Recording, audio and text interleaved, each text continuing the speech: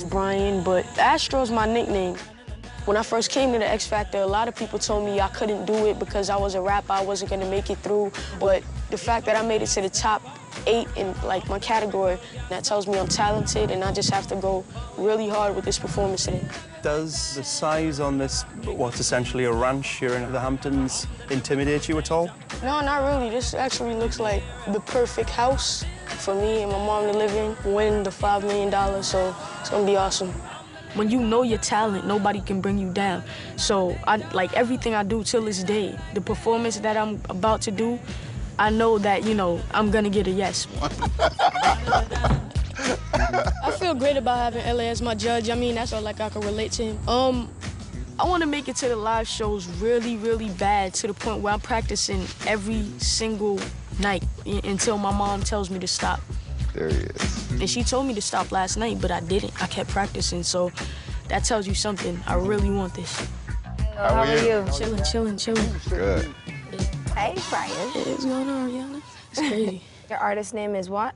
My artist name is The Astronomical Kid, but people call me Astro for short, so. Got it. All right, Astro. All right, cool.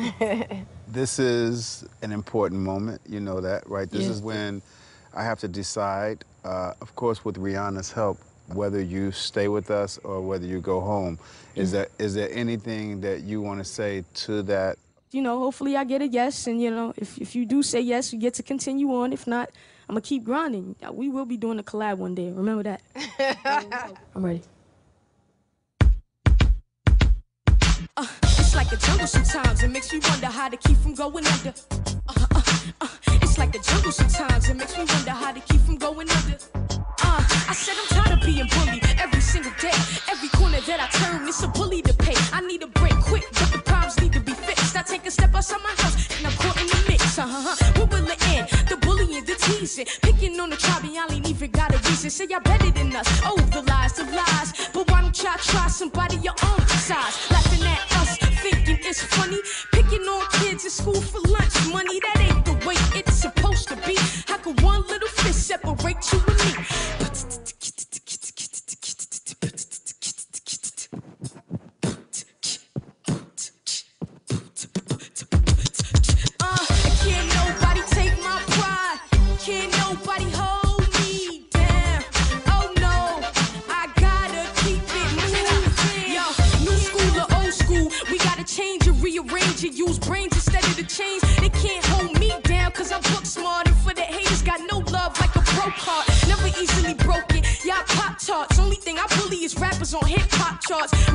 beats until I see cop cars. And I go too hard to be compared to y'all. My lines be two feet, ripping the flows, ripping the beats. Where can I be found? Always the booth, never the streets. Lyrically, I'm a miracle to the game. When hip hop died, his last words was my name. Now check it, I'm resurrecting it every second I kick it. I be blessing the records and getting rid of the wicked. Gotta make a change like a dollar bill. Sometimes I wonder why they try to take me under. Swag. You go ahead, kid. Thanks, thanks, man. Yes, sir. Thank you. Thank you. So cute. He's so cute. I can't, even, I can't even comment right now. He just so cute. I mean, when I was walking on them steps, yeah, I was nervous, but you know, when I got on stage, it just it just went away and I just swagged it out. It was pretty cool. Rihanna's face, Yeah, she was... Rihanna's beautiful. Rihanna's Yeah, beautiful. she's, she's mega hot. Yeah. He look like a mini J. Cole. Right. He Right. performs like that. His confidence, his body language. He's very sure, very certain. That last No, little rhythm. Hello. Right. I'm, I'm still tripping. Oh man. He's what, 14? How can he measure up with singers when he's not a singer?